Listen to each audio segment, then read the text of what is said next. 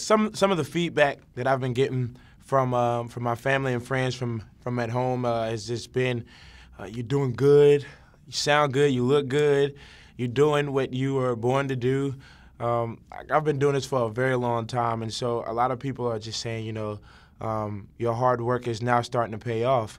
So that on top of encouragement has been like the the most of the things that I've been getting from a lot of my friends and family from back at home. A lot of the interaction between Adam and I has has just really just been, you know, um, our energies combusting in one room. Like we're both big personalities. Um, um, he is he is basically like an older version of myself.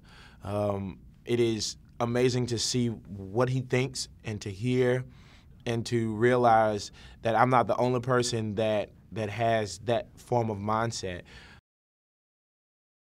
He's been working with me with, um, you know, pitch, um, basically getting me out of just like a specific box that some people put place me in, and so um, I've I've gotten nothing but love from him.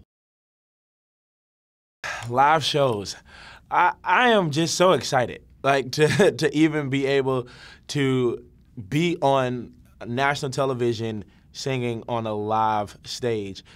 As close as I've gotten to that is just being at church. Oh my gosh, I'm a fan of all of the 11 contestants that are here with me. Um, it is, we have the best show, period. Like just to see everybody on stage, I'm looking at it as if like, yo, like, like I'm at a concert. I'm at their concert like right now. I have first like glimpse glimpse of just like, yo, this is this is somebody big. So it's amazing. It really is. It is. It is a, a, a, complete blessing to be able to be alongside with them in this process.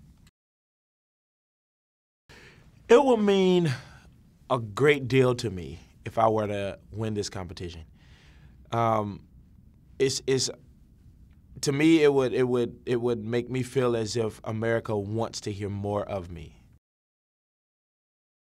That people want to hear my story. People want to um, people want to hear and learn more about me. They want to live in my life through music, and that would mean just um, the, the the world. Like I can't explain that enough or stress that enough. It would be a blessing.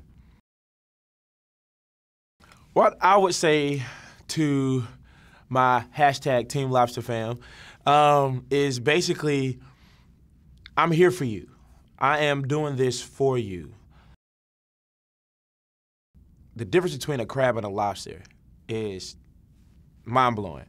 And when a crab is put under, under pressure and you have a whole bunch of crabs in a barrel, the first thing that the crabs will do will pull down, pull each other down.